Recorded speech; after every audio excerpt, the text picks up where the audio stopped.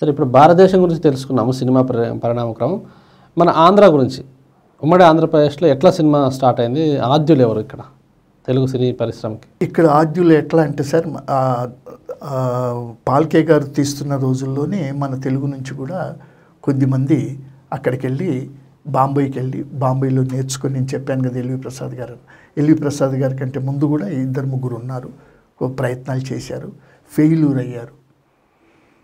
కష్టపడ్డారు. ఎందుకంటే ఇదంతా కంప్లీట్గా ఒక ఒక మీడియాకు సంబంధించింది. అంటే మీడియా అంటే టెక్నికల్గా సంబంధించింది. ఈ డ్రామాలు ఇవన్నీ చేస్తున్న దాన్ని తెర మీద చూపించాలి. అక్కడ ఆర్టిస్టులు ఎవరు ఉండరు. ఇది చాలా గమ్మత్తుగా ఉంది అని చాలామంది అట్రాక్ట్ అయ్యారు. కానీ కొద్దిమంది మనకు ఫస్ట్ మూకీ నుంచి టాకీకి వచ్చింది భక్త ప్రహ్లాద. ఆ సినిమా తీశారు. ఆ సినిమా తీ తీసిన తర్వాత మెల్లిమెల్లిగా మెల్లిమెల్లిగా ఇండస్ట్రీ జనరల్గా ఆర్టిస్టులు కనపడకుండా తెర మీద కనబడుతున్నారు అంటే ఆసక్తి ఉంటుంది కదా. అట్లా మన ఆంధ్రప్రదేశ్లో చలనచిత్ర పరిశ్రమ డెవలప్ అయింది.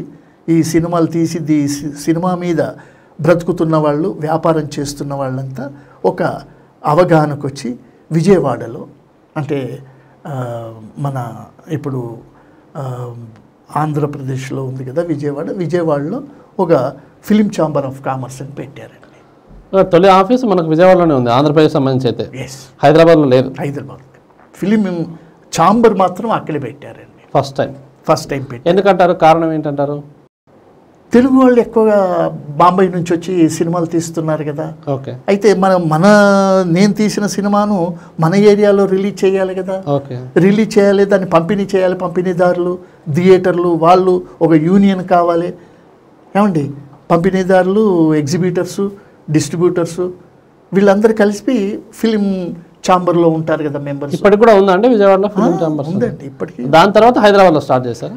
హైదరాబాద్లో ఎలా స్టార్ట్ అయిందంటే ఆ చట్టోపాధ్యాయ గారు ఆయన ఉన్నప్పుడే మా ఇంతకుముందు అనుకున్నాం కదా ఇండ ఇండియాలో చిత్ర పరిశ్రమ ఎప్పుడు స్టార్ట్ అయింది అన్నప్పుడు ఆయన సినిమాలు తీస్తున్నప్పుడు ఇక్కడ సినిమాలకు ఒక పద్ధతి ఉండాలి.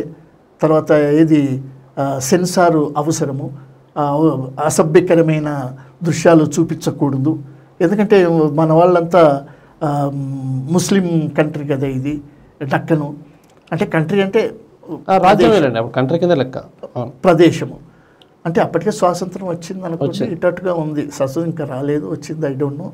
బట్ ఆ మూమెంట్లోనే ముస్లిమ్స్ దానికి పద్ధతిగా ఉండాలి ఇవన్నీ కుదరదు అనే ఉద్దేశంతోనే ఇక్కడ సినిమాలు తీయటానికి గొడవ చేస్తే తీయొద్దనేది ఆపేశాం కదా.